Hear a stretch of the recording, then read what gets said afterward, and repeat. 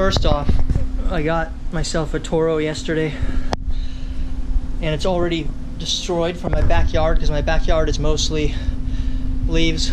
I just got done running. I mean, mostly dirt and stuff. It got coated. I'm thinking about giving it a nice wax job, really help keep that dust off. But um, what this video is about, let's uh, figure it out. Um, right. I have three estimates. First estimate is a body shop. Second estimate is PDR. Third estimate is PDR. I have all my estimates and I have made my decision. But first, let's go through the estimates. Estimate number one, the body shop. This included, you already know what it included, watch a previous video. Uh, hood replacement, possibly trunk replacement, but I don't think so and dropping the headliner, all that stuff. That price, complete job, 4078 All right, body shop. Estimate number two. That is on my phone. Hold on a sec. All right, guys, I just spent five minutes looking for the email or text, and I can't find it right now, but I know what it is. The PDR estimate one was 4,600. Included everything again, the hood and stuff like that. Um, let's look at the PDR3 since I have it right here without a break.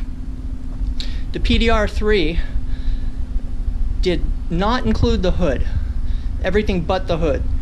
They said that the hood is way too far gone and too deep to do PDR on, which is what I heard from other people too. I kind of believe that at this point. And their estimate without hood was 5,077. So there you have my three estimates all of you, well, a lot of you were incorrect.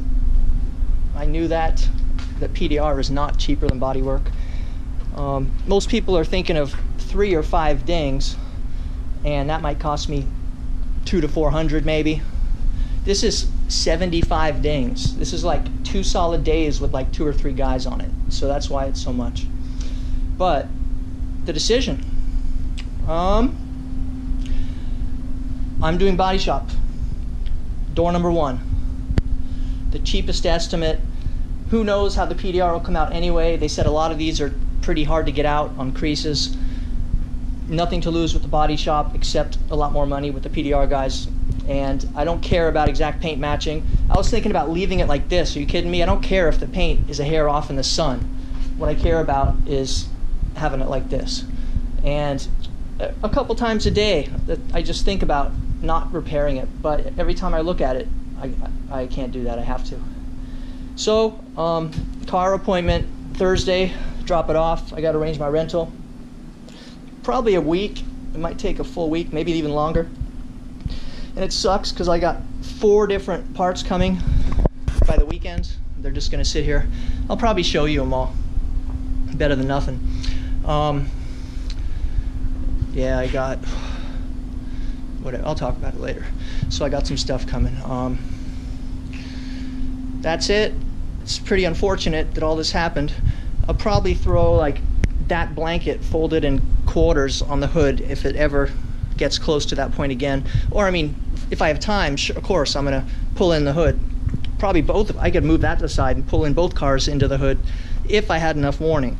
So if I hear about hail or something, I'm just saying in an emergency, I'll run in here, grab a blanket, or throw myself over it, but that wouldn't cover so much. And I decided I'm, I'm going to fix it once. If it hails again and I'm right back where I started, there's no way I'm going to fix it twice. It's just getting ridiculous at that point.